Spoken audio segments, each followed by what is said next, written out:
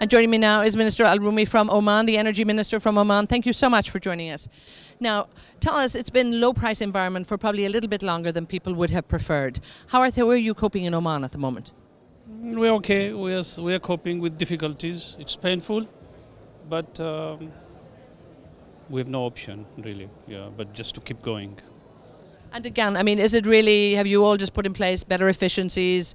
I mean, it's you have to be resilient in this market. You actually, as you said, you, you have no choice. You have to keep going. So, but I mean, what what have you put in place to actually make sure that you can survive? I think we've done with what everybody else is doing, uh, as you've mentioned, efficiency, cost cutting, uh, doing things uh, or doing more for less, and uh, it's it's working. Uh, plus, our other sectors outside the oil and gas are also chipping in. So we're spending less uh, in other sectors, or we are sort of removing the fat in the whole economy of the country. Mm, so How, how quickly, just um, tell me, how optimistic are you about OPEC? You've been talking about the fact that you even said that common sense is prevailing there. And it's, it's, it's um, again, these are your friends, your old friends from a long time now. But are you optimistic that now that everybody is talking OPEC and non OPEC, that everyone's coming back to the table? This is good.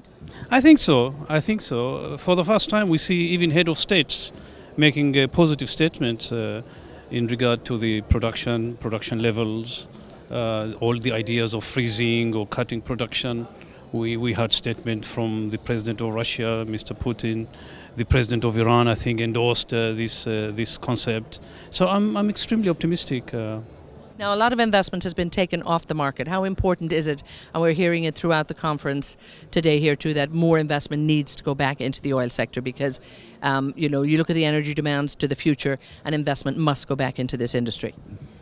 I think uh, if I if I speak on behalf of the NOCs, the investment has not been too bad. huh? We have continued with the same cause as we were before.